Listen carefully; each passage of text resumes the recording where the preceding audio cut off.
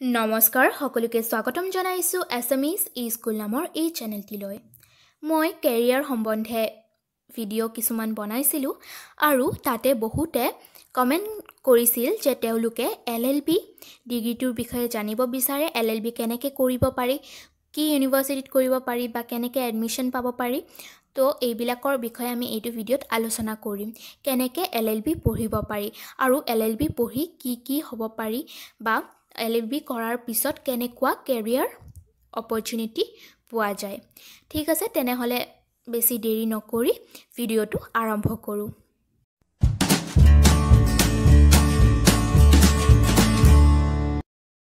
L L B অৰ্থাৎ লেগাম বেকেলেৰিয়াছ। Latin ভাষাত ইয়াক লেগম বেকেলেৰিয়াছ বুলি কোৱা হয়। এইটোৰ পৰাই এল এল বি ৱৰ্ডটো আহিছে আৰু ইয়াক বেচেলৰ অফ লেজিছলেটিভ ল বুলিও কোৱা হয়। আৰু এল এল বি পঢ়িবৰ বাবে দুই ধৰণৰ আছে। এটা হ'ল এইচ এছৰ পিছত পঢ়িব পাৰি আৰু আনটো হ'ল গ্ৰেজুৱেশ্যন কমপ্লিট কৰাৰ পিছত পঢ়িব পাৰি। তেনেহ'লে আমি আজি ডিছকাছ কৰিম কেনেকৈ দুয়োটা মানে ডিফাৰেঞ্চ কি কি দুয়োটাৰ। ঠিক আছে? তো প্ৰথমটো হৈছে B A L L B বা বি এ হওক B S C B com যিকোনো ষ্ট্ৰীমৰ হ'ব পাৰে। B A L L B বা B com L L B বা B S C L L B. আৰু B A L L B কৰিবৰ কাৰণে ক'ৰ্চটো পাঁচ বছৰীয়া হয়। আৰু এইচ এছ পাছ কৰি মানে ক্লাছ টুৱেলভটো পাছ কৰাৰ পিছত তোমালোকে যিকোনো ষ্ট্ৰীমৰ হওক এই B A L L B ডিগ্ৰীটো পঢ়িব পাৰিবা। আৰু এই ডিগ্ৰীটো পঢ়িবৰ বাবে বিভিন্ন কলেজত এণ্ট্ৰেঞ্চ এক্সাম হয়। সেই এণ্ট্ৰেঞ্চবিলাক তোমালোকে দিব পাৰিবা। আৰু কিছুমানত এণ্ট্ৰেঞ্চ নোহোৱাকৈও হয়। তো কলেজ হিচাপে বস্তুবিলাক বেলেগ বেলেগ নেশ্যনেল লেভেলৰ ভাল ইনষ্টিটিউটত পঢ়িব লাগিলে নেশ্যনেল লেভেলৰ এক্সামবিলাক ক্লিয়াৰ কৰিব লাগে। আৰু এই ডিগ্ৰীটোত দহটা ছেমিষ্টাৰ থাকে টোটেল পাঁচ বছৰত দহটা ছেমিষ্টাৰ আৰু ইয়াত জেনেৰেলৰ কাৰণে ফিফটি ফাইভ পাৰ্চেণ্ট লাগে মিনিমাম আৰু এছ চি এছ টি বা কাষ্ট হিচা অনুসৰি পাৰ্চেণ্টেজটো অকণমান কম হ'লে হয় ফৰ্টি ফাইভ পাৰ্চেণ্ট হ'লে এছ চি এছ টিসকলে এইটোত এপ্লাই কৰিব পাৰে আৰু জেনেৰেলৰ কাৰণে ফিফটি ফাইভ পাৰ্চেণ্ট মিনিমাম লাগে। ঠিক আছে? আৰু এইবিলাক কোৱালিফিকেশ্যনবিলাক এল এল বিৰ ক্ষেত্ৰতো ছেমে হয়। ঠিক আছে? আৰু এই এল এল বিৰ যিটো আছে সেইটো হৈছে ডিগ্ৰীৰ পিছত কৰিব পাৰি। আৰু যিকোনো ষ্ট্ৰীমত যিকোনো এটা ছাবজেক্টত ডিগ্ৰী পঢ়াৰ পিছত এজন মানুহে এল এল বি পঢ়িব পাৰে। ঠিক আছে? আৰু গ্ৰেজুৱেশ্যনত কি ছাবজেক্ট আছে সেইটো মেটাৰ নকৰে। আৰু এল এল বি ডিগ্ৰীটো তিনি বছৰীয়া হয় ক'ৰ্চটো আৰু ইয়াতে ছয়টা ছেমিষ্টাৰ থাকে তিনি বছৰত ছয়টা ছেমিষ্টাৰ আৰু ইয়াৰো পাৰ্চেণ্টেজ এনেকুৱাই ফিফটি টু ছিক্সটি পাৰ্চেণ্ট হয়। কলেজ হিচাপে কিছুমানে বেছি মানে হেৰি কৰিব পাৰে বাট ফিফটি টু ছিক্সটি পাৰ্চেণ্টে হয় মিনিমাম তাতকৈ বেছি নহয়। ঠিক আছে? আৰু কাষ্ট হিচাপে অকণমান ৰিলেক্সেশ্যন থাকি যায়। যিকোনো মানে এল এল বি হওক বি এল এল বি হওক দুয়োটাতে ৰিলেক্সেশ্যন থাকি যায়। আৰু এতিয়া কথাটো হ'ল ইয়াৰ ডিফাৰেঞ্চটো এতিয়া এনেকুৱা লাগিছে যে দেখি এনেকুৱা লাগিছে যে এল এল বিটো মাত্ৰ তিনি বছৰীয়া আৰু বি এ এল এল বিটো পাঁচ বছৰীয়া। তেনেহ'লে তিনি বছৰীয়া কৰাটোৱেই বেছি ভাল। কিন্তু একচুৱেলি তেনেকুৱা নহয়। কাৰণ তিনি বছৰীয়া যিটো এল এল বি ক'ৰ্চ আছে সেইটো ক'ৰ্চত গ্ৰেজুৱেশ্যনটো পাছ কৰি ল'ব লাগে অলৰেডি তো এই গ্ৰেজুৱেশ্যন পাছ কৰোঁতে মিনিমাম তিনি বছৰ লাগি যায়। তিনি বছৰ লাগে আৰু কিছুমানৰ ইঞ্জিনিয়াৰিং বা এনেকুৱা বেলেগ টেকনিকেল লাইন হ'লে কিছুমানৰ চাৰি বছৰো লাগি যায়। ঠিক আছে। তো চাৰি বছৰ পঢ়াৰ পিছত বা তিনি বছৰ পঢ়াৰ পিছতহে আৰু তিনি বছৰ এল এল বি কৰিব লাগে। কিন্তু বি এ এল এল বিৰ ক্ষেত্ৰত টুৱেলভ পাছ কৰাৰ পিছতে পাঁচ বছৰত B A plus L L B বা B S C plus L L B বা B com plus L L B মানে একেলগে কমপ্লিট হৈ যায় ফাইভ ইয়াৰ্ছত। সেইকাৰণে B A L L B কৰাটো বেছি সুবিধাজনক বা এক বছৰ লছ নহয় আৰু সেইটোৱে কথাটো। এইটো নিজা ইচ্ছা যদিহে তোমালোকে এতিয়া ডিগ্ৰী পঢ়ি আছা তেতিয়াও তোমালোকে এল এল বিটো পঢ়িব পাৰিবা। একো বেলেগ প্ৰব্লেম নাই খালি এবছৰ ইফাল সিফাল। ঠিক আছে? আৰু ইয়াৰ কাৰণে ইয়াত এডমিশ্যন পাবৰ কাৰণে বিভিন্ন ধৰণৰ এক্সাম দিব লাগে। সেই এক্সামবিলাকৰ বিষয়ে আমি কথা পাতিম। কিন্তু প্ৰথমে আমি চাই লওঁ যে এল এল বি বা B A L L B কৰাৰ পিছত কেনেকুৱা জব পোৱা যায়। B A L L B কৰাৰ পিছত বা এল এল বি কৰাৰ পিছত তোমালোকে লয়াৰ হ'ব পাৰিবা গভমেণ্ট হওক বা প্ৰাইভেটলি হওক লয়াৰ বা উকিল এজন হ'ব পাৰিবা। নহ'লে বা লিগেল এডভাইজাৰ বা লিগেল এক্সপাৰ্ট এজন হ'ব পাৰিবা। লিগেল এডভাইজাৰে কি কৰে? তেওঁলোকৰ লিগেল নলেজবিলাক থাকে। চ' তেওঁলোকে বিভিন্ন ক্ষেত্ৰত গভমেণ্টৰ স্কীমবিলাকত বা গভমেণ্টৰ বিভিন্ন কামত বা বিভিন্ন অৰ্গেনাইজেশ্যনক কোম্পেনীবিলাকক লিগেল এডভাইচ দিয়ে। ঠিক আছে? যে এইটো কৰাটো উচিত হ'বনে নাই এইটো কৰিলে কাৰ কি লছ হ'ব বা এইটো এইটোক লয় ছাপৰ্ট কৰে নকৰে। ঠিক আছে আইন আইনে এইটোক ছাপৰ্ট কৰে নে নকৰে। চ' এইবিলাক কথা এজন লিগেল এক্সপাৰ্টে দিব পাৰে বা লিগেল এডভাইজাৰে এডভাইচ কৰিব পাৰে যে এইটো কৰা উচিত হ'ব। গভমেণ্টে বিভিন্ন স্কীম বনোৱাৰ কাৰণে বা বিভিন্ন গভমেণ্টৰ অৰ্গেনাইজেশ্যনবিলাকতো লিগেল এডভাইজাৰবিলাকৰ এডভাইচ লোৱা যায়। তাৰপিছত তোমালোকে এডভকেট হ'ব পাৰিবা। এডভকেটবিলাকে বিভিন্ন এইবিলাকত ৰিচাৰ্চ কৰে যিবিলাক ক্ৰাইম আছে বা বিভিন্ন ধৰণৰ লিগেল কথাবিলাকত বা আইনৰ লগত জড়িত কথাবিলাকৰ ৰিচাৰ্চ কৰে বা এনেকুৱা ড্ৰাফটিং বিভিন্ন ধৰণৰ কাম কৰে স্ক্ৰুটিনাইজিং কাম কৰে তাৰপিছত ফিজিকেল ডাটাবিলাক বিচাৰি উলিয়াই সেইবিলাকৰ ৰিচাৰ্চ কৰে বা বিভিন্ন ধৰণৰ কাম কৰে। আৰু ল পঢ়াৰ পিছত এল এল বি ডিগ্ৰীটো লোৱাৰ পিছত ইউ পি এছ চি বা ষ্টেট পি এছ চি এক্সামবিলাক দি বিভিন্ন চিভিল ছাৰ্ভেণ্ট হিচাপেও কাম কৰিব পৰা যায়। মানে ল বিষয়টোক অপশ্যনেল হিচাপে লৈও এক্সামটো ক্লিয়াৰ কৰিব পাৰি। এনেকুৱা সেইবিলাক ক্ষেত্ৰতো হেল্পফুল হয়। ঠিক আছে আৰু এনেকুৱা এক্সামতো বিভিন্ন পলিটিকেল ছায়েন্স বা আইনৰ জড়িত কিছুমান টপিক থাকে চ' তাতেও হেল্পফুল হয়। U P S C A P S C এক্সামবিলাক দিবৰ কাৰণেও।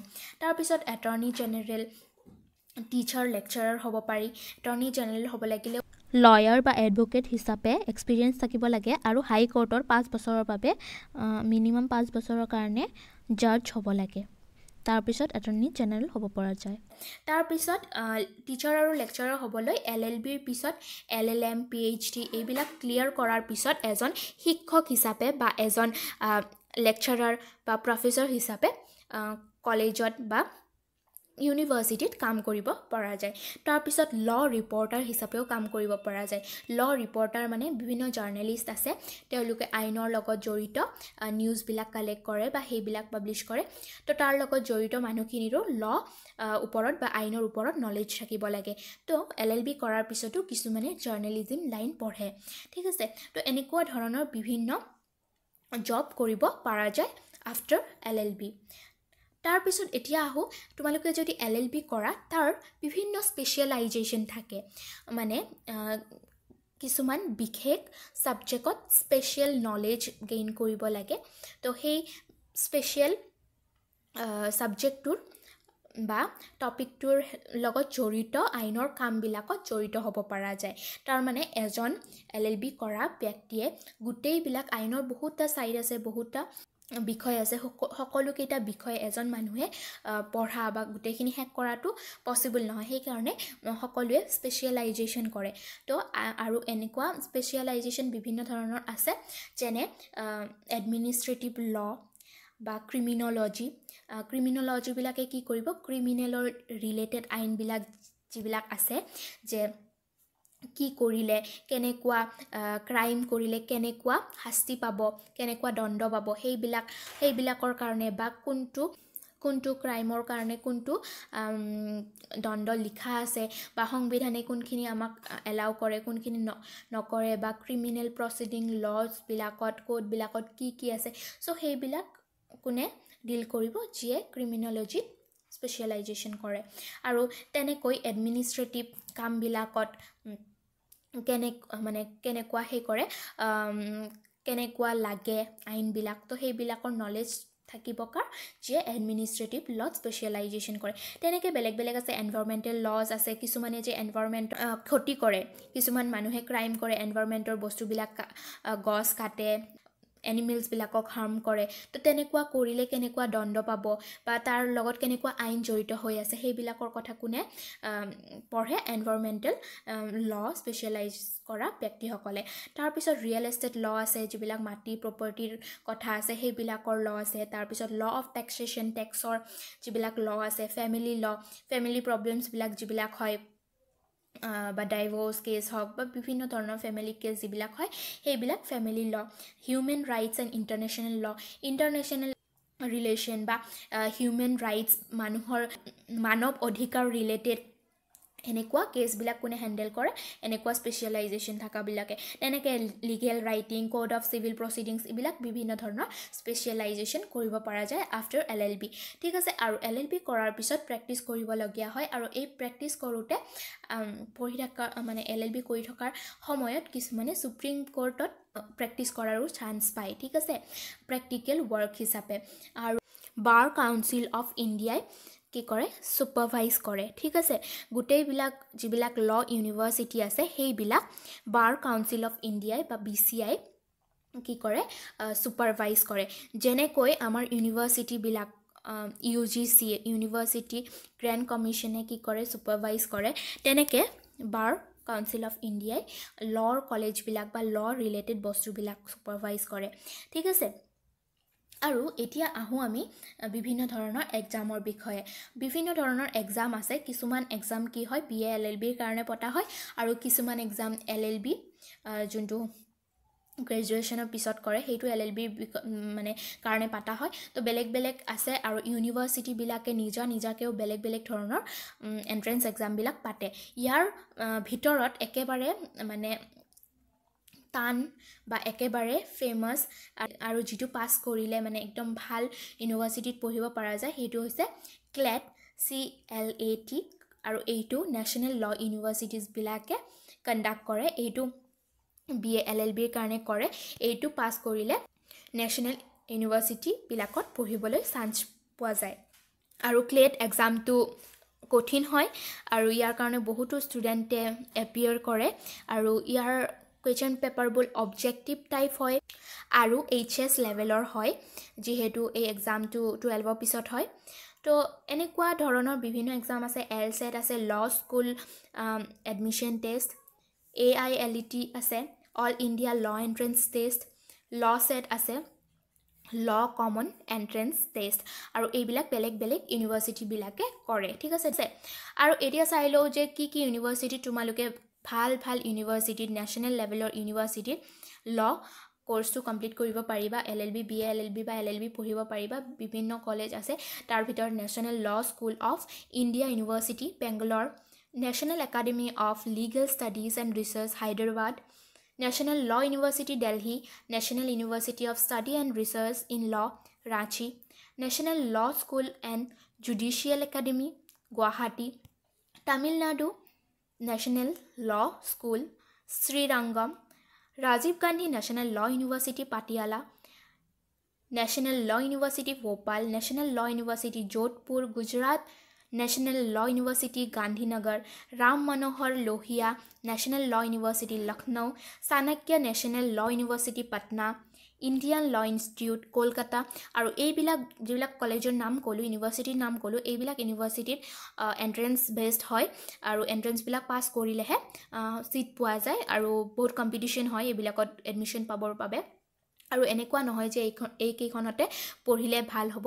আমাৰ ষ্টেট লেভেলৰো বিভিন্ন কলেজ আছে ভাল ভাল ইউনিভাৰ্চিটি আছে সেইবিলাকতো পঢ়িব পৰা যায়।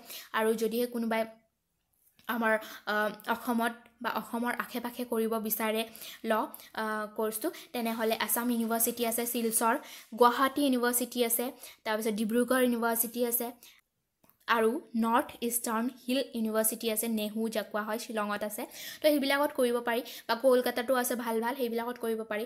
আৰু নহ'লে যদি একদম ওচৰে পাঁজৰে ঘৰত থাকি পঢ়িব বিচাৰে তেনেহ'লে বিভিন্ন কলেজ আছে যেনে Dispur law college J B law college তাৰপিছত national education foundation law college Barpeta law college Jorhat law college Nagaon law college Tezpur law college আৰু Mangaldoi Dhubri Diphu north Lakhimpur Nalbari Morigaon Goalpara law college Ajmal law college Hojai তাৰপিছত ডিব্ৰুগড়তো আছে দুখন doctor R K B law college D H S K law college so' বিভিন্ন ধৰণৰ আৰু কিছুমান নাম ৰৈ গৈছে।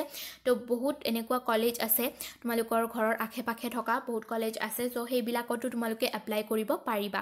ঠিক আছে আৰু এইবিলাকত এডমিশ্যন পোৱাটো বাকীবিলাক নেশ্যনেল ইউনিভাৰ্চিটিবিলাকত এডমিশ্যন পোৱাতকৈ অকণমান ইজি হ'ব। আৰু তোমালোকে এই এক্সামবিলাক দিবলৈও ট্ৰাই কৰা যদিহে তোমালোকে নেশ্যনেল ভাল ইনষ্টিটিউট এখনত পঢ়িব মন আছে। ঠিক আছে এইখিনিয়ে আছিল এল এল বি কৰ্চৰ বিষয়ে। আৰু যদিহে তোমালোকে বেলেগ কিবা কেৰিয়াৰ অপশ্যনৰ বিষয়ে জানিব বিচাৰা তেনেহ'লে কমেণ্ট ছেকশ্যনত জনাবা মই ভিডিঅ' বনাই দিবলৈ চেষ্টা কৰিম। Thank you for you for ৱাচিং দ্য ভিডিঅ' আৰু যদিহে ভিডিঅ'টো ভাল লাগিল তেনেহ'লে লাইক শ্বেয়াৰ আৰু ছাবস্ক্ৰাইব কৰিবলৈ নাপাহৰিব।